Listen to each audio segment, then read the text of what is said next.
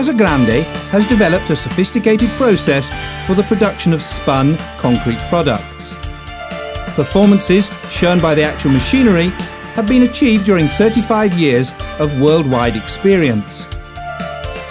Main features of machinery flexibility to cover a wide range of products using the same moulds, durability for more than 500,000 cycles, lowest maintenance costs, highest level of productivity with minimum manpower required, two pieces per mould.